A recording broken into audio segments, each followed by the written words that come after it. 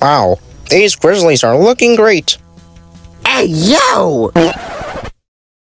Listen, man, that's not exactly what I meant by that. Are you sure about that? You just said the grizzly word.